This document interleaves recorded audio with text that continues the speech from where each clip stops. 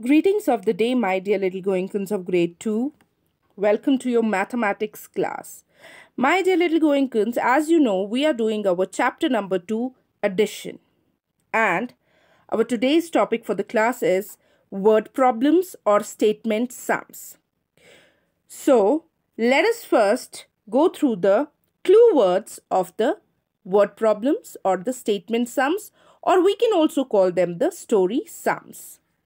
So the first word is plus, add, sum, total, in all, altogether, more.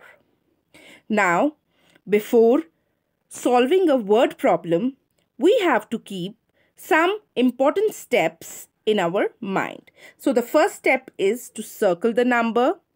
Second step is to underline the clue words or the question. Then box the keywords. Evaluate, that means to think. And then make a plan.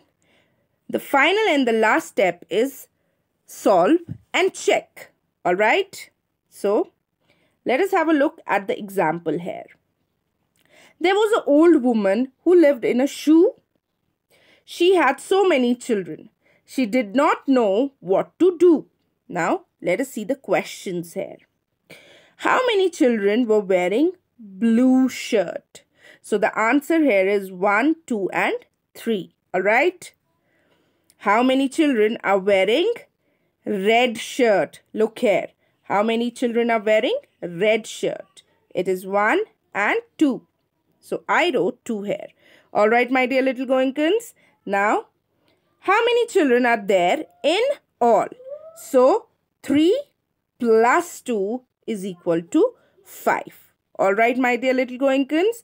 Now, we have a question on our book, page number 26. And we have to do the K part. Let us check the question and you have a sam sample picture here. You can do the question in the same way.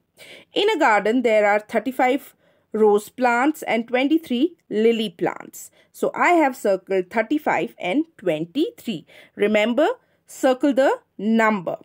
And how many flower plants are there all together?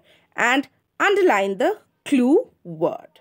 Now, we'll first write the numbers here in this box and we have to find the total number of flower plants all together.